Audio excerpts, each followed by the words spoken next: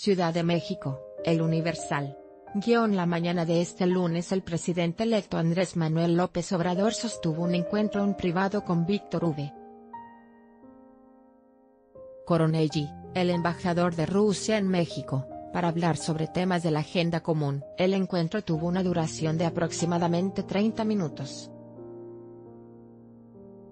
Marcelo Ebrard, futuro canciller, recibió al diplomático en la entrada de la Casa de Transición en la calle de Chihuahua en la colonia Roma. Al finalizar el encuentro, el embajador Coronelli se retiró de la casa de transición sin dar declaraciones.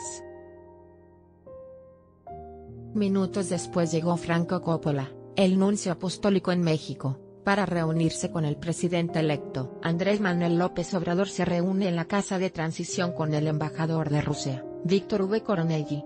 pic.twitter.com barra 6G68 ADA, el economista, Arroba el economista, septiembre 10, 2018.